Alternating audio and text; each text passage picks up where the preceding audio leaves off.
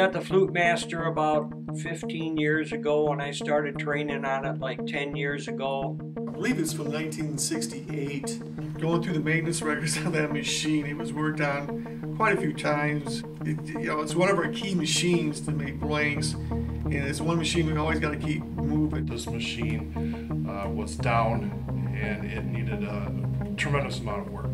The, the machine was very rough. It's very old. The controls toast. Electronic parts of the machines were old, had all Allen Bradley components in. All the boards were old, the machine was just wore out. The ball screws were worn out, the table gibs were worn out, and we could only run things so fast without the machine shaking. When you ran three pieces at a time, the parts were not as smooth, the table would jump. Our shop is not air conditioned. The machine will go down probably once a month. I basically said something has to be done. So then I contacted All World Machine Supply and see if they could help me out. It was a great candidate for a rebuild retrofit.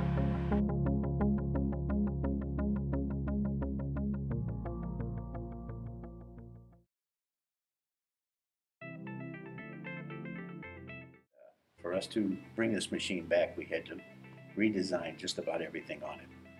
It was, it, it was quite a team effort uh, in this whole process to uh, make this happen. First, everybody has their own concept about how something should be or be done. And then we kind of start to integrate our concepts with each other as far as how it's all going to work in the end. We got uh, specialists in all, you know, mechanical, electrical, software that work really well together to make these things work out. We made numerous trips over to the customers uh, with our service group. We worked with, I'd say, everybody within the company from the upper management to the operator as far as what their expectations were. First thing we did was attack the iron. That took 12 weeks to uh, tear down, remachine, scrape, free true, get ready to hold that massive weight. The best part of it was the, the metal frame was still usable. And once we got that done, we had to see if we couldn't do the electronics so it would be more efficient. And built a control panel. Had a software guy come up with the required programming. We based the control on the Mitsubishi Q platform utilizing the C70 CNC CPU and the Q03 PLC module. And for the operator's interface, we used the GOT 2000 HMI color touchscreen. Being a Mitsubishi integrator, we work with Mitsubishi to utilize U.S. stock, so we really face no issues with uh, lead times from Japan. The lead guy, Randy Hanson, actually went over to All World and spent a lot of time with uh, software writer Frank Gruby. We didn't want to create something that was so outlandishly new that they would have to relearn the whole process all over again. I was kind of skeptical because of CNC drives and it's all CNC operated, but once I got there and started training on it, it's basically the same setup as it was before, just a CNC.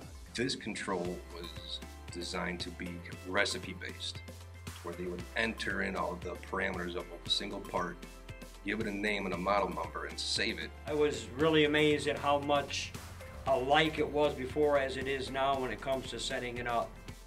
It's basically the same setup with just a few different numbers, that's all. A couple of improvements we made on the Flutemaster was the EcoRich hybrid hydraulic power unit, the Lube USA lubrication system, and the Daikin oil chiller. The energy savings and the oil consumption savings were greatly reduced. The day we got the machine back, there was a lot of excitement here at Regal Cutting Tools. We had even actually a little potluck dinner for the employees that day because we knew we were back in business. After running the old machine for approximately seven, eight years to running the new machine, it's two different sides of a coin. Everything's like brand new. I mean, we could run the machine on three, four times quicker, and we have been. Before we would run three at a time, and it would take approximately six minutes to run three pieces because of how rigid the machine is.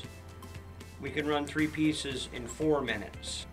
So we gain like two minutes per set. In three months now, I think we've been running it, and we probably got like 25% of it already paid back just on how much faster we can run the pieces and get more profit on each piece that we run. Now you can run the machine a third faster and the parts are a lot nicer. We're now running bigger pieces on it that we normally wouldn't, could not have run on the old machine. and it doesn't break down like it used to. It's just a hundred times better than it was. We estimate the efficiencies of the machine being four times greater than it was before the rebuild. We got the customer uh, everything that they wanted and then more. It was a tremendous success. Just to highlight what we can do here and how well we can work together with the customer. We have developed a relationship with them uh, that is second to none, and that's what All World is all about. Yeah, in the future, we do have a few more machines here that need to be rebuilt since we are old um, machine facility. More likely, All World will be building quite a few of our machines. So.